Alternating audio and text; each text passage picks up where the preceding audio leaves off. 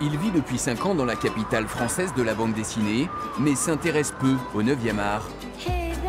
Sa passion à lui, c'est le rugby. Les supporters du SA15 le reconnaissent facilement à sa chevelure blonde. Adrien Ayestaran est depuis 2013 le demi de mêlée de Soyaux Angoulême. De la deuxième division fédérale à la Pro D2, il a contribué aux montées successives du club charentais. 5 ans de fidélité, sans interruption. Déjà d'une, la, progression qu'on a eue en 5 ans et aussi l'ambiance dans l'équipe où ça se passe super bien. C'est vraiment un esprit famille où euh, tout le monde s'entend très bien et, euh, les, résultats qui suivent derrière, donc euh, pourquoi partir? Ces résultats, ce sont deux accessions et un bouclier décrochés dès sa première saison. En 2013-2014, le SA15 réalise un sans faute. 25 matchs, 25 victoires. La dernière face à Groyer offre aux Charentais le titre de champion de deuxième division fédérale. Adrien Ayestaran est à l'origine de l'essai décisif, l'un de ses meilleurs souvenirs. C'était un match un peu, euh, un peu serré à ce moment-là. Et euh, voilà, je crois qu'on récupère un ballon et euh, il y a Guillaume Laforne qui m'annonce le, qu'il n'y avait personne derrière. Donc voilà, je m'applique à faire le, jeu au pied et ça tombe pile poil dans ses mains. Il, fait le reste pour aller marquer. Donc ouais, c'est, un bon souvenir, c'est ce que, j'en garde.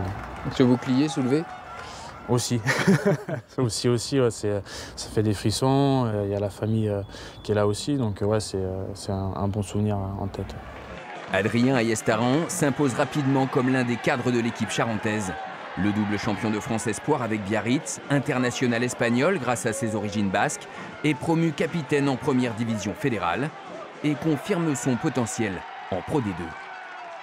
C'est un joueur qui, euh, a d'abord une, grosse qualité physique sur le terrain. Hein. C'est un joueur qui est quand même très rapide, euh, qui euh, à cette rapidité est en capacité d'avoir beaucoup de densité. C'est un joueur qui est très physique, qui est fort dans les duels, qui est, en capacité d'avancer, que ce soit contre les avant ou des trois quarts. Donc voilà, c'est un joueur qui en tout cas, au niveau du jeu d'avant, que ce soit autour dans les zones de ruck ou autour des zones de molle, c'est quelqu'un qui est capable d'apporter de la vitesse et de la densité. Donc sur ça, il est très très intéressant. Seul accro à son parcours, cette mise à l'écart en novembre à l'issue du match nul concédé à domicile face à Perpignan. Le demi de mêlée sort du groupe, perd son brassard de capitaine et vit trois semaines de doute, de remise en question, soutenu par sa compagne charentaise.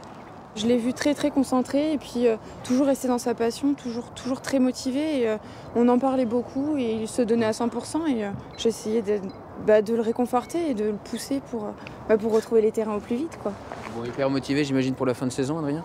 Ah bah oui, là complètement, hein. c'est la dernière ligne droite, donc voilà, là il faut, faut, tout lâcher, on n'a plus rien à, perdre, donc voilà, il faut, faut, se libérer et continuer à, à, perdurer dans, cette Pro D2. Aujourd'hui, Adrien Ayestaran est de nouveau titulaire. À 30 ans, le demi de mêlée a même re-signé pour trois saisons supplémentaires. Trois ans pour poursuivre son ascension et celle de Soyou Angoulême.